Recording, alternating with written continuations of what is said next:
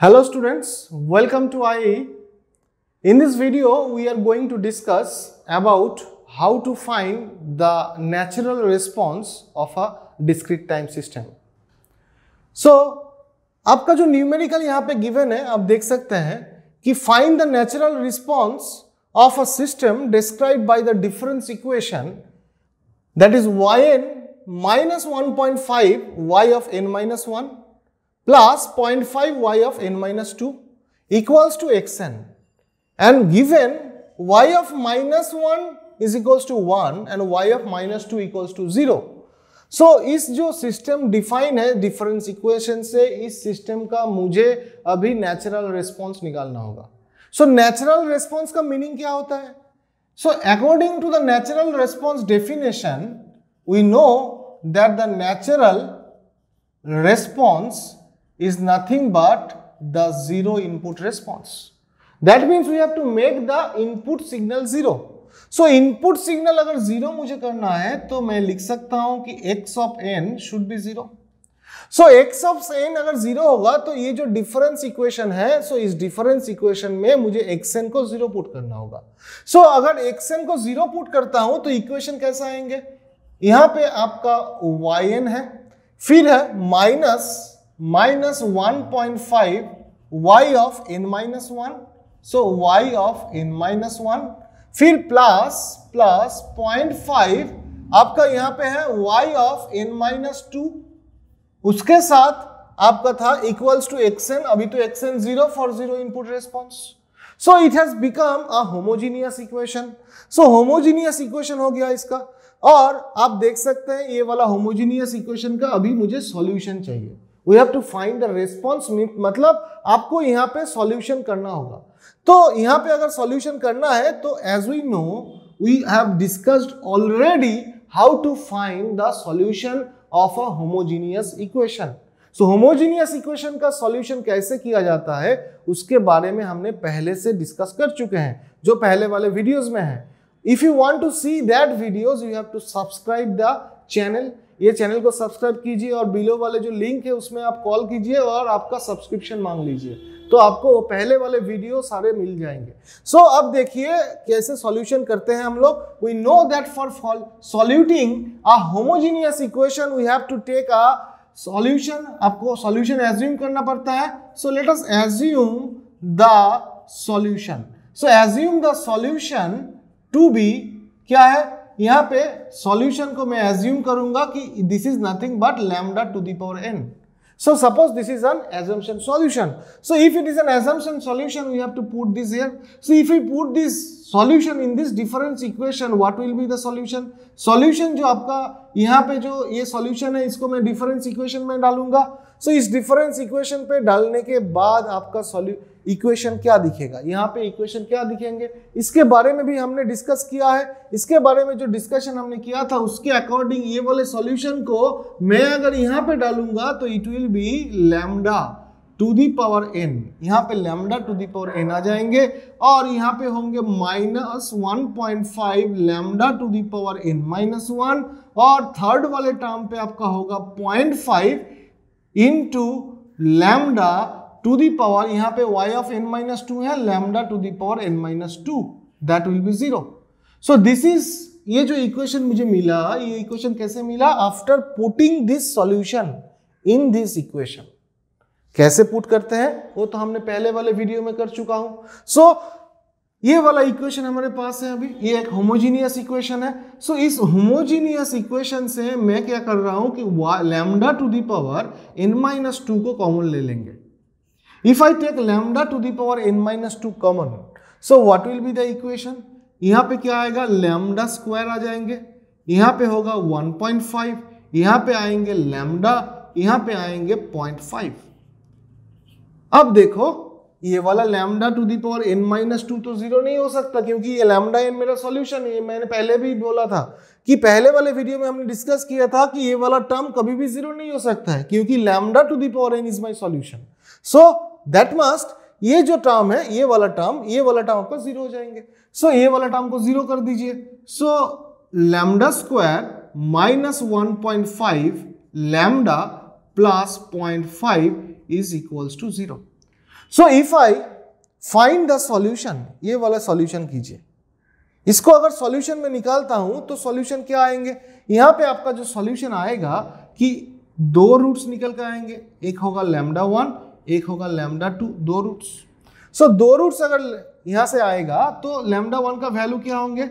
So if you do the middle term और if you factorise this equation so after factorising you can get the lambda one and lambda two so lambda one का value क्या आएगा? That will be equals to one और lambda two का value क्या आएँगे? Lambda two will be point five यहाँ पे point five you have to do the factorisation basic thing high school physics. High school mathematics में होता है factorisation.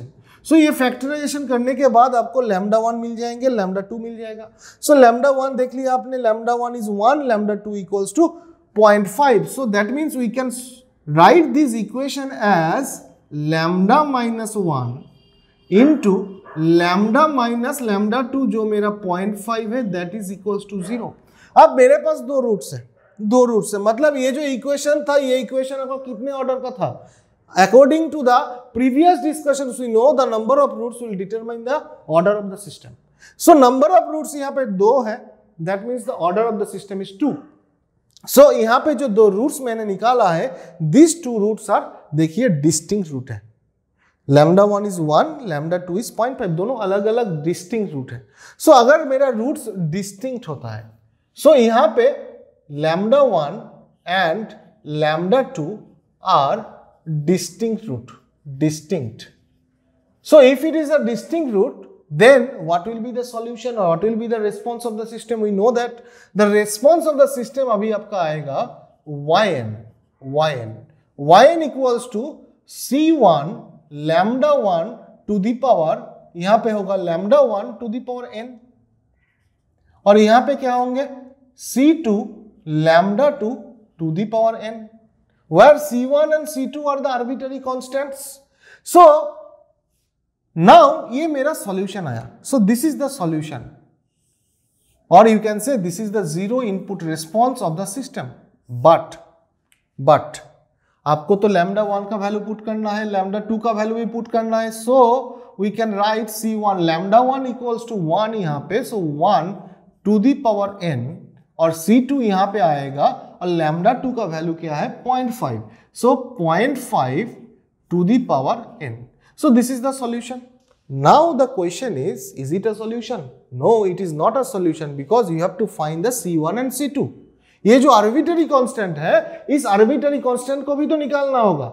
उस आर्बिटरी कांस्टेंट को निकालने के लिए कहाँ से निकालेंगे? ये जो इनिशियल कंडीशंस गिवन है, देखिए these are the initial conditions y of minus 1, y of minus 2. We will use this initial condition to find the arbitrary constant. अब कैसे अब देखिए यहाँ पे मेरा क्या है y of minus 1. So y of minus 1 is given as 1. ये पहला इनिशियल कंडीशन पहला वाला इनिशियल कंडीशन मेरा और दूसरा वाला इनिशियल कंडीशन क्या है कि y of minus 2 y of minus 2 is equals to given है 0. So this is the second initial condition. We'll use this initial condition to find the C1 and C2. Now, अब देखो ये जो equation आया मेरे पास ये वाला इक्वेशन ये मेरा इक्वेशन गिवन था so in this equation if I put the values अब देखो क्या करते हैं for n equals to zero first thing first thing first n equals to zero so if n equals to zero what will be the equation the equation will be y of 0 minus 0.5 1.5 यहाँ पे है 1.5 सो so यहाँ पे आएगा 1.5 उसके बाद आपका आएगा यहाँ पे n ज़ीरो मतलब आपका y ऑफ़ माइनस वन उसके साथ क्या आएँगे 0.5 उसके साथ आएगा 0.5 y of n minus two मतलब y of minus two because we have put n equals to zero so ये वाला इक्वेशन आया। अब देखो यहाँ पे क्या है कि y ऑफ़ माइनस वन का वैल्यू गिवन है। y ऑफ़ माइनस टू का वैल्यू गिवन है। So from this equation we can find the value of y zero y zero का वैल्यू मिल जाएगा आपको। क्या मिल जाएँगे? तो यहाँ पे 1.5 y ऑफ़ माइनस वन का वैल्यू क्या है? वन है। तो यहाँ पे वन पुट कर दीजिए। यहाँ पे 0.5 है। तो यहाँ पे पॉइंट फाइव रख दीजिए और वाई ऑफ़ माइनस टू का वैल्यू ज़ीरो है। तो यहाँ पे ज़ीरो लिख लीजिए।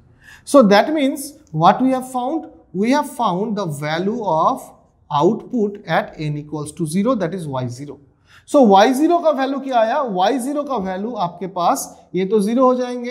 तो ये वाला जाएगा, ये राइट हैंड साइड पे लेकर जाइए तो हो जाएँगे point five one point five so you have got the value of y zero right now इसी तरीके से मैं वाई वन को भी निकाल सकता हूँ। कैसे? ये वाले इक्वेशन पे। ये मेन इक्वेशन पे आप n equals to one put कर दीजिए। So n equals to one में अगर पुट करूँगा यहाँ पे तो इक्वेशन क्या आएगा? यहाँ पे वाई ऑफ़ वन आ जाएँगे। तो यहाँ पे आपका वाई ऑफ़ वन आ गया। यहाँ पे माइनस वन पॉइंट फाइव तो minus one point five y of one minus one that means zero plus point five है यहाँ पे। सो पॉइंट फाइव अब यहाँ पे होगा वाई ऑफ़ एन का वैल्यू मैंने क्या पुट किया? वन पुट किया सो वन माइनस टू यहाँ पे one minus two so that means one minus two equals to minus one that will be zero अब देखो, y ऑफ़ ज़ीरो का वैल्यू क्या है? 1.5 y ऑफ़ माइनस वन का value क्या है? वन पुट कर दीजिए। तो यहाँ पे अगर पुट करेंगे तो आपका y1 है। यहाँ पे 1.5 y0 का वैल्यू क्या है? 1.5 सो 1.5 0.5 यहाँ पे और y ऑफ़ माइनस वन का वैल्यू है 1 this is equals to zero so now we can find the value of y one अब देखो, यहाँ पे 1.5 point five into one means क्या होगा? 1.5 पॉइंट फाइव इंटू वन मतलब आपका यहाँ पे दोनों को मल्टीप्लाई कीजिए और यहाँ पे 0.5 सो दैट मीन्स आपका जो वैल्यू आएँगे तो यहाँ पे 2.25 आएगा, उसके साथ आपका 0.5 माइनस हो जाएँगे राइट हैंड साइड पे जाके तो आपको फाइनली मिल जाएँगे 1.75 so we have got the value of y mine y y of 1 also तो मिल गया, y वन मिल गया, y of minus one given है, y of minus two given है। अब देखो ये वाला इक्वेशन पे आ जाइए। ये वाला इक्वेशन पे देखिए तो मेरा इक्वेशन क्या था? सॉल्यूशन पे। यहाँ पे सॉल्यूशन था। So this was the solution अब इस सॉल्यूशन पे मैं क्या कर रहा हूँ कि यहाँ पे मेरा सॉल्यूशन था y of n is equals to C one one to the power n plus C two point five to the power n ये वाला सॉल्यूशन था। अब इस सॉल्यूशन में मैं क्या कर रहा हूँ कि n equals to zero put करूँगा। कि if n equals to zero then it is y of zero that is C one अब one to the power zero का मतलब क्या होता है? One to the power zero का मतलब आपका वन आ जाएँगे। यहाँ पे point five to the power zero मतलब one so that means it will be C one plus C two so let us name this equation as equation number one now फिर से आप क्या कीजिए? इसमें n equals to one put कर दीजिए। So if I put n equals to one then it will be C one one to the power one means one और अब देखिए सी वन यहाँ पे सी टू है। C two point five to the power one मतलब point five so this is the equation number two अब equation number one पे left hand side पे क्या है? Y ज़ीरो y ज़ीरो का वैल्यू क्या है? 1.5 सो इक्वेशन नंबर वन से मैं लिख सकता हूँ कि C1 plus C2 is equals to 1.5 using this value similarly equation number two से मैं क्या लिख सकता हूँ? इक्वेशन नंबर टू से मैं लिख सकता हूँ कि C1 plus C2 0.5 is equals to Y1 और Y1 का वैल्यू 1.75 तो यहाँ पे आपका 1.75 now you have got two equations ये वाले इक्वेशन को आप सॉल्यूशन कर सकते हैं। सी वन सी टू दोनों वेरिएबल है। दो variable C one C two और इक्वेशन कितना है? दो इक्वेशन दो अननोन दो equation you can find the value so, if you find the value, if you solute this, we can find the value of c1 and c2 c1 और c2 का value आपको मिल जाएँगे। अब solution after solving after solving basic solution है, आप substitution method use कर सकते हैं, कोई भी मेथड अब यूज़ कर सकते हैं। कोई भी मेथड यूज़ कीजिए इसके अंदर तो आपको C1 और C2 का वैल्यू मिल जाएँगे। तो C1 का जो वैल्यू है C1 का वैल्यू आपके जो आएगा दैट इज़ टू आएँगे टू C1 कहाँ पर था? यहाँ पे C1 था। और ये C2 का जो वैल्यू आएगा C2 C2 value will be point five so ये कैसे मिला? ये दोनों इक्वेशन को सॉल्यूशन में डालेंगे। सॉल्यूशन डालने के बाद आपको C1 C2 वैल्यू मिल जाएँगे। सो so, ये जो C1 C2 वैल्यू है इस C1 C2 वैल्यू को मैं अभी ये वाले इक्वेशन में पुट करूँगा। ये वाला।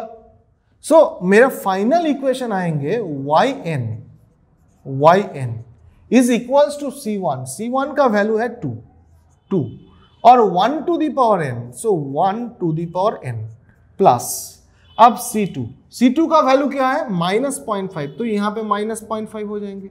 सो माइनस पॉइंट फाइव उसके बाद point five to the power n so point five to the power n ये वाला इक्वेशन फाइनल आया। फाइनली मेरा वाई एन का वैल्यू आ गया।